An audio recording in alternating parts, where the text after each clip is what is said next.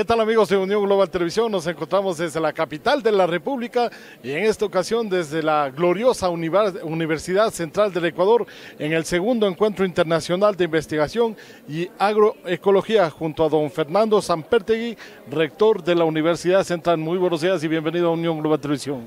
Muchísimas gracias. Eh, un, un saludo a los televidentes de esta importante cadena.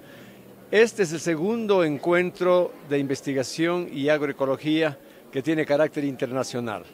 De esta manera, nuestra Facultad de Ciencias Agrícolas mantiene su iniciativa y liderazgo en esta materia, la agroecología, es decir, obtener productos para la alimentación saludables, de buena calidad, preservando la madre tierra, mediante técnicas y procedimientos científicos amigables con la naturaleza. Esta es la filosofía que inspira esta reunión y es la filosofía que inspira el trabajo de la Facultad de Ciencias Agrícolas en materia de investigación científica. Es absolutamente interesante la concurrencia que se ha dado cita el día de hoy, lo cual muestra el altísimo interés por la propuesta de nuestra facultad. Bien, y también nos encontramos eh, junto a el decano de la Facultad de Ciencias Agrícolas y coordinador precisamente de este foro, don Antonio Gaibor. ¿Qué le parece esta concurrencia? Invitados internacionales. Eh, ¿Qué es el foro agrario sobre los objetivos? Coméntenos un poquito, por favor. Bueno, nosotros lo que pretendemos es coadyuvar para que la agricultura en el Ecuador, en nuestra América Latina, cambie. El modelo de agricultura actualmente vigente es insostenible hay que buscar una nueva opción. La Universidad Central tiene la firme decisión de contribuir a ese cambio en el Ecuador. Aquí están actores de todo el país, de varias provincias, de movimientos de regantes, de organizaciones campesinas, de organizaciones comunitarias. Está también la academia. Aquí están representantes de algunas universidades del Ecuador, de las facultades de ciencias agrícolas, movimientos sociales diversos. Aquí están presentes instituciones públicas que tienen que ver con la producción, con la investigación. Aquí está una delegación muy nutrida de científicos que vienen de varias universidades de, Europa y, América Latina. Vienen de la Universidad de Wageningen de Holanda, de las universidades de España, del Colegio de Postgraduados de México, de la Universidad de Chapingo, de Brasil, de Argentina, de Perú, de Colombia. Aquí hay una nutrida participación de investigadores que a la vez nos apoyan en el desarrollo de programas académicos de nuestras facultades. Tenemos redes internacionales con ellos, nuestros estudiantes van a estos países, nuestros profesores van a dar clases allá, desde esas universidades también vienen docentes a nuestras universidades. Es una red que potencializa las capacidades, de las diversas eh, instituciones universitarias. ¿Qué objetivos se desean alcanzar y cuál es la modalidad? Eh, hay dos, ah, dos espacios. Una, unos temas se discuten en plenaria aquí en el Teatro Universitario y otros se discuten a nivel de comisiones. Hay siete comisiones que tratan temas específicos. ¿Qué analizamos? Analizamos, se presentan aquí experiencias innovadoras de producción agroecológica, de intercambio internacional, de intercambio nacional. Aquí también hay representantes de campesinos de otros países de América Latina.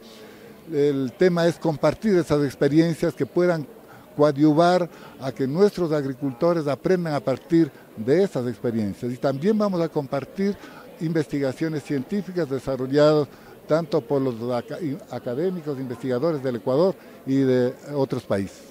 Perfecto, desearle la mejor de las suertes. Y finalmente, señor rector, las palabras para Unión Global Televisión, donde se encuentran muchos hermanos migrantes en Europa, Estados Unidos y América Latina. Que aprecien el trabajo de nuestra Universidad Central y en particular la Facultad de Ciencias Agrícolas, el papel que está desempeñando en transformar la cultura de la producción agropecuaria no solo en el Ecuador, sino en América Latina y la movilización de concurrencia que tenemos el día de hoy es un augurio de que hay una potente irradiación de nuestro mensaje, por lo menos en América Latina. Nosotros con cámaras de Pablito Guayasamín en este segundo encuentro internacional de investigación y agroecología desde la capital de la República.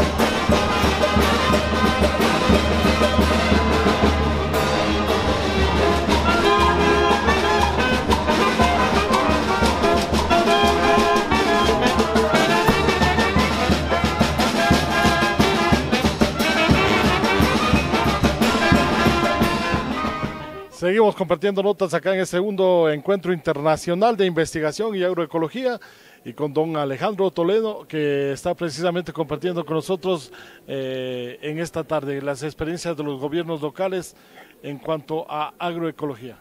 Sí, buenos días, Alexandro Tonelo es mi nombre, soy el viceprefecto de Pichincha y nosotros desde el gobierno provincial estamos implementando eh, una política de mejor engranaje entre las diferentes direcciones del gobierno provincial para que participe activamente la economía popular solidaria y el apoyo a la producción en este marco de una producción agroecológica, reconociendo en este formato de cultivo eh, o, de, o de trabajo con la tierra el respeto hacia el medio ambiente, el respeto hacia la salud de la gente como prioridad vital.